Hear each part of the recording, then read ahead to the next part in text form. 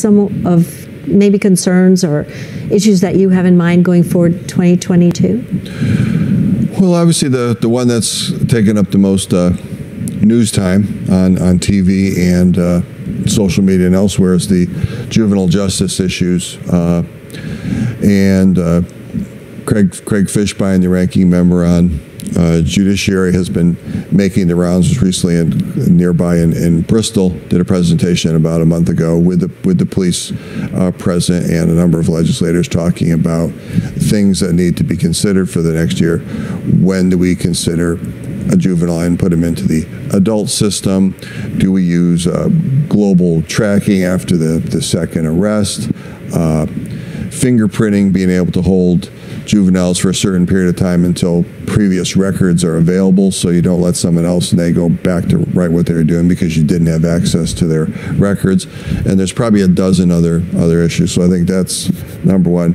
People still want to go back to the police accountability bill that came, got pushed through in the summer of uh, 2020. There's about a year's worth of data now to see what's working in the police accountability bill and what's not working, what needs to be changed. Um, I think there's a financial concern in that there's a lot of federal funds coming in, which is nice. Uh, remember, there are tax dollars, be they federal or otherwise.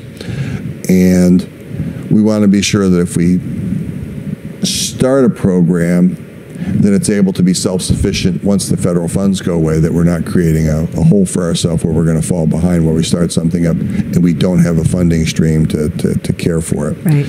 Obviously, the disaster in West Haven in terms of the misappropriation of money, and we have some issues. I, I know some of the CARES Act uh, audits are just about finalized now, and there's issues in terms of looking at ARPA and other monies to make sure that the federal money has been spent appropriately. That's going to be a concern. We've heard a lot about supply chain issues. You brought up small businesses. There's concern. I think we're going to hear more about trying to uh, repeal the, the highway use tax. There's so much federal funds coming in in terms of shoring up our issues with road maintenance, bridges, and the like. Uh, we need to stabilize the Special Transportation Fund. We've advocated for a number of years. The Special Transportation Fund is the only fund where the benefits of employees is within that fund. All the other agencies in the state of Connecticut, their benefits are housed under the general fund. So one of the things that makes the Special Transportation Fund struggle is that they're paying that budget is not just repairing roads and bridges and new construction, it also has to do with benefits. So it's a little bit of an accounting issue, but it would make the bottom line look dramatically better and there'd be a lot less stress and a lot less push to add yet another tax in terms of gases or the, the, the, the highway mileage tax.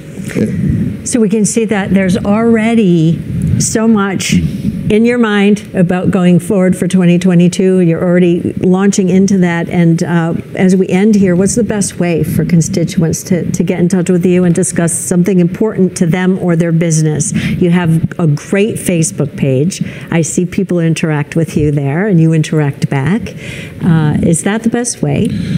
Uh, the best way is, uh, uh, is email uh, William William.petit at uh, housegop.ct.gov or william.petit at cga.ct.gov. Uh, there's phone numbers on the on the Facebook page. The aides are excellent. Uh, many of the aides all have contacts at all the agencies, so they're often able to reach out and they often resolve problems before they even talk to us because they've been doing it for years and they, they know the system, so they often can help people before they even have to reach out to us. Yeah, well, we, we recognize that your time is valuable. We thank you for coming in. And we also recognize that Dr. Petit is one of the legislators that really cares about what we have to say and what we think as he goes to Hartford with work and works on some of these issues. So attend these coffee and conversations, reach out and, and email him, look at Facebook, and if you don't have access to broadband or uh, know how to use your computer, you certainly can make a phone call and uh, someone in his staff will get the information to him and he can get back in touch with you. So thank you so much for coming thank in today. Johnny. It was great to see Appreciate you. It. All right, we'll see you next time on Up Close and Personal.